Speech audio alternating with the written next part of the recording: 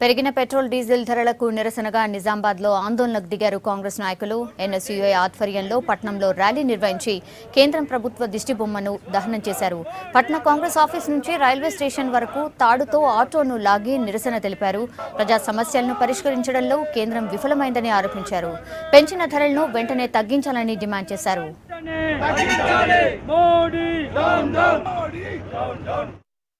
ఇరవై ఆరు రూపాయలు కేంద్ర ప్రభుత్వం పద్నాలుగు రూపాయలు రాష్ట్ర ప్రభుత్వం డీజిల్ మీద పెట్రోల్ మీద ధరలు పెంచినటువంటి సందర్భం లోపల యువజన కాంగ్రెస్ ఆధ్వర్యాన ఈరోజు రాష్ట్ర వ్యాప్తంగా నిరసన తెలియజేస్తున్నటువంటి సందర్భంలో ఈ నిరసన కార్యక్రమం ప్రజల పక్షాన రైతుల పక్షాన కార్మికుల పక్షాన సామాన్యుల పక్షాన ఆటో వాలాల పక్షాన. ఒకవేళ ఇది చేయకపోతే రాబోయే రోజుల్లో కేంద్ర రాష్ట్ర ప్రభుత్వాలు దీన్ని తీవ్రంగా పరి